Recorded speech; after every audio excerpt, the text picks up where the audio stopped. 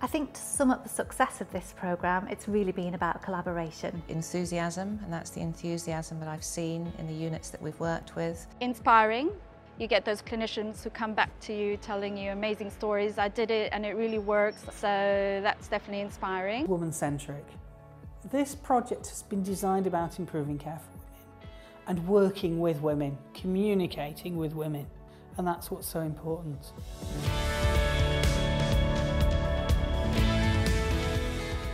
OASIS stands for Obstetric Anal Sphincter Injury and the challenge that we're seeking to address is to reduce the damage to the, uh, the anus and to the, the perineum from women following vaginal birth. This damage can leave women affected for the rest of their lives.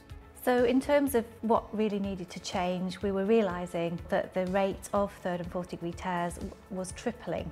And also we realised that sometimes midwives and doctors were saying slightly different things, were giving different perspectives to women, and obviously we need to be speaking with one voice. It was a good way for us to work together, both doctors and midwives. Uh, it's about collaboration, and only if we work together can we actually improve care of women. We also know that currently the litigation rate due to OASIS is increasing.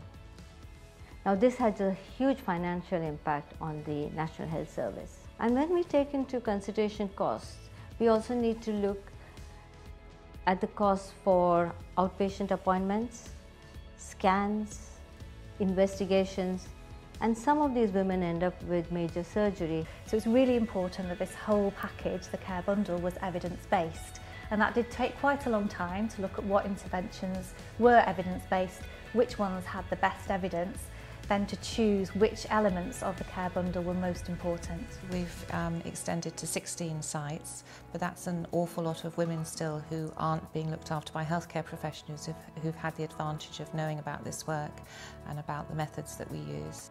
Well, we were first contacted by the RCOG to take part as a pilot site. We really wanted to be at the forefront of trying to make a difference. I, think most trusts did realise at the time that it, the incidence was slightly increasing and we wanted to be one of the sites to actually make a difference and show that we can actually put women at the centre of care.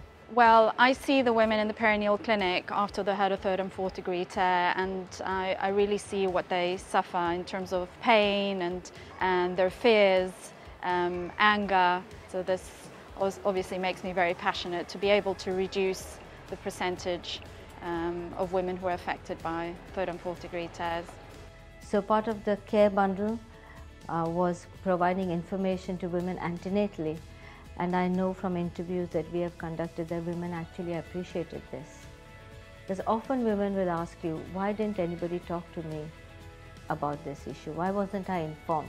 And so what we um, really tried hard to do was to give the staff in the units both the resources and the knowledge to be able to roll out the care bundle. So we gave practical resources um, and we also gave them all of the evidence base for the interventions and were available to answer any questions that they might have about that evidence base.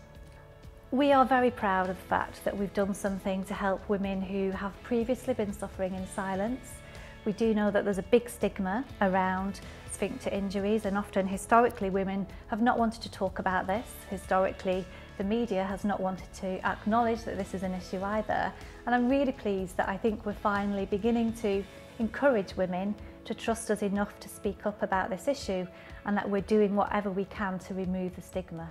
It's given me the confidence to actually have a discussion with the women about that this is a potential risk and, but also it's given me the confidence to say actually we can do something to reduce that risk. And um, I also see women antenatally, so I make also specialist birth plans for women who are at increased risk and um, encouraging change, uh, but not only with clinicians, also with the women. So women need to be also more perineal aware and pelvic floor aware um, to empower them so that they can also make better choices. We are about to embark on a massive change uh, and this will spark conversation amongst patients and healthcare professionals. Um, and if we discuss this further, we can only get better. I think it's been a really, really good example of how two teams can come together um, to improve outcomes for women. And moving forward, um, I'm really hopeful that midwives and obstetricians will be able to do further work of this nature. The final word I'd use is forensic. That we've actually examined this in huge detail to try and show where we can get the minor elements of improvement, which if added together will make things better.